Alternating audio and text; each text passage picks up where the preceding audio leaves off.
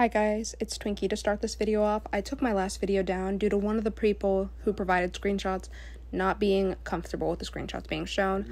I will never force someone into drama. That's just that. No. So that video was deleted. Now let's talk about this comment Krova made about me killing my dogs. I was on call with Krova, and I will be honest, I yelled at them. I was very mad, and I forced the answer to this out of them.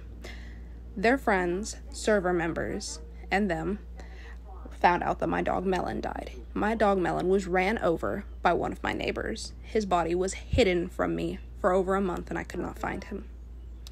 They made up a rumor saying that I killed him and that I had been killing other dogs. I want to say this now I do not kill dogs. My dogs are my children and I love my dogs very, very much. Krova has since apologized to me. I will admit it was horribly immature on my part to yell at them about this but I got the answers I wanted and the answers I needed. Now let's talk about this. Do not make false allegations against me. You can talk to any of the victims, including Jet themselves, and they will tell you I have been in support of them for over a year. I am the one who originally reached out to Flo, and I am the person who convinced the victims to reach out to them and spread their story. Because of me and my efforts for these victims, their voices are finally being heard.